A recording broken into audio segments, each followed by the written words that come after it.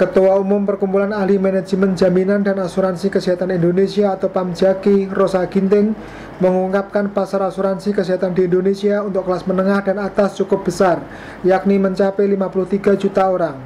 Hal ini disampaikan Rosa saat menjadi pembicara dalam seminar Global Individual Private Medical Insurance to Enable Sustainable Healthcare di Jakarta tanggal 23 Oktober 2019. Seminar ini diadakan Asosiasi Ahli Pialang Asuransi dan Reasuransi Indonesia atau APARI bekerjasama dengan Signa Indonesia.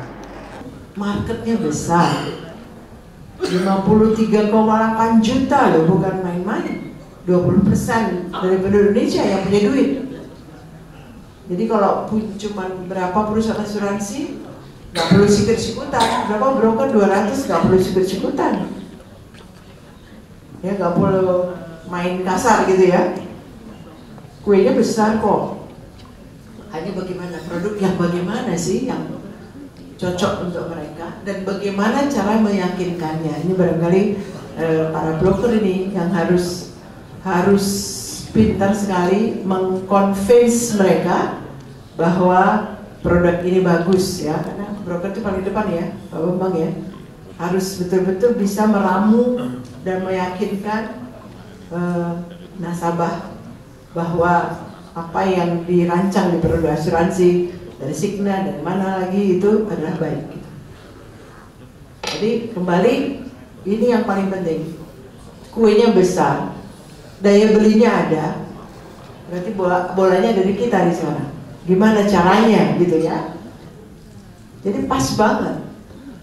Usia mereka produktif, duitnya ada, penyakitnya potensi penyakitnya juga ada. Potensi ya. Kalau udah sakit ya asuransi biasanya nggak mau ya. Jadi eh, bapak dan ibu ini yang kita hadapi sekarang kembali apa yang harus kita buat nih supaya mereka tertarik untuk berasuransi supaya mereka memang sangat merasa oh ini baik untuk saya gitu ya. Oh ini yang saya butuhkan dan tidak mudah juga meyakinkan mereka ini yang berduit ini. Ya. Dia bisa searching di mana-mana yang lebih bagus. Kalau kita dianggapnya nggak lebih bagus ya saya beli yang dari Singapura aja atau dari Hong Kong atau dari mana. Kan mereka ini pilihannya besar duitnya banyak. Ya? jadi how to win the market how to win the heart sebenarnya. Bagaimana kita convincing them bahwa kita itu baik kita udah global ya. Jadi persaingan kita tidak hanya teman kiri kanan tapi juga dunia.